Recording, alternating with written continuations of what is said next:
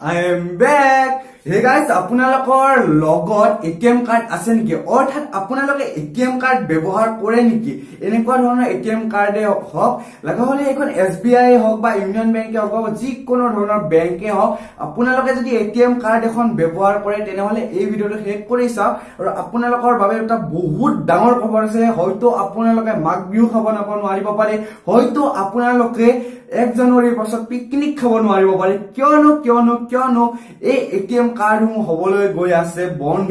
আৰু যেতিয়া এটিএম কাৰ্ডসমূহ বন্ধ হব তেতিয়া হয়তো আপোনালোকে পইচা উলিয়াব নোৱাৰিব। আৰু যদি আপোনালোকে পইচা উলিয়াব নোৱাৰে তেনেহলে এনজয় কৰিব কেনেকৈ?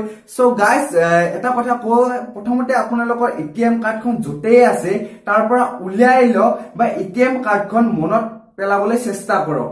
কিয়নো আপোনালোকৰ হাতত থকা এটিএম খনত যদি আপোনালোকক ফটোত দেখাই দিওঁ এই যিটো এটা চিম শ্লট থাকে চিম শ্লট আমাৰ যিটো মোবাইলৰ চিমৰ শ্লটৰ নিচিনা যদি আপোনালোকৰ এটিএম কাৰ্ডখনত আছে তেনেহলে এটা কাম কৰক প্ৰথমতে আগতে নাচি লওকচোন অলপমান। মই ঘৰলৈ।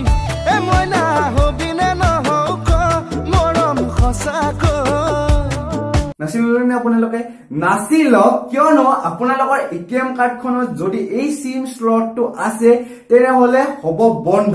আৰু যদি আপোনালোকে জানে যে আগৰ কিছুমান আমাৰ যিবিলাক মা দেউতাৰে এই হওক বা আপোনালোকে যদি দুহেজাৰ ওঠৰ চনৰ আগতে আপোনালোকৰ এটিএম কাৰ্ডখন বনাই লৈছিল বা আপোনালোকৰ একাউণ্টটো খুলি কিনে তেতিয়া আপোনালোকে এটিএম কাৰ্ড বনাইছিল তেনেহলে আপোনালোকৰ নিশ্চয় এই শ্লটটো আছে আৰু এই শ্লটটো থকা এই কাৰ্ড কেইখনক কয় ই এম বি কাৰ্ড পিছত মই বাৰু E M V ATM card বা ডেবিট কাৰ্ড যিয়ে নহওক কিয় এই কাৰ্ডসমূহৰ বিষয়ে এক্সপ্লেইন কৰি দিম। কিন্তু বৰ্তমান যদি আপোনালোকৰ হাতত থকা এই এটিএম কাৰ্ড কেইখনত যদি আপোনালোকৰ এই চিমৰ নিচিনা শ্লটটো নাথাকে তেনেহলে আপোনালোকে এটা কাম কৰিব লাগিব। আপোনালোকৰ এটিএম কাৰ্ডখন সলাব লাগিব। একদম চিম্পুল মেথড আপোনালোকে এতিয়া বেংকত যাব। বেংকত গৈ তাতে এটিএম কাৰ্ডৰ যিখন ফৰ্ম আছে সেই ফৰ্মখন ফিল আপ কৰি দিব। আৰু ফিল আপ কৰাৰ পিছত তাতে ছাবমিট কৰিব। তাৰ পিছত আপোনালোকে এখন নতুন এটিএম কাৰ্ড পাবলৈ সক্ষম হ'ব আৰু সেইখন এটিএম কাৰ্ডেৰে আপোনালোকে ট্ৰেনজেকশ্যন কৰিব পাৰিব।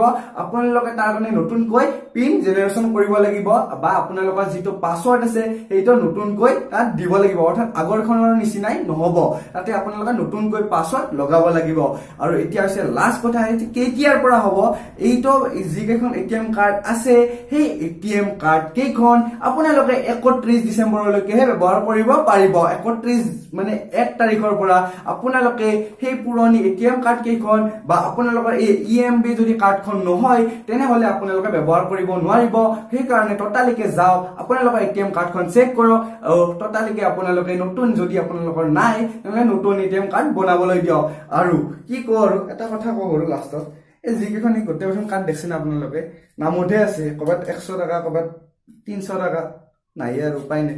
চ' প্লিজ ভিডিঅ'টো লাইক কৰিব কমেণ্ট কৰিব শ্বেয়াৰ কৰিব আৰু আপোনালোকৰ সকলোকে শ্বেয়াৰ কৰি দিয়ক। কথাটো যাতে যাৰ নাই তাই ততালিকে গৈ এটিএম কাৰ্ড এখন এপ্লাই কৰি আহিব পাৰে। ত' ধন্যবাদ। ইমানখিনি আমাৰ ভিডিঅ'টো চাই দিয়াৰ কাৰণে জয়।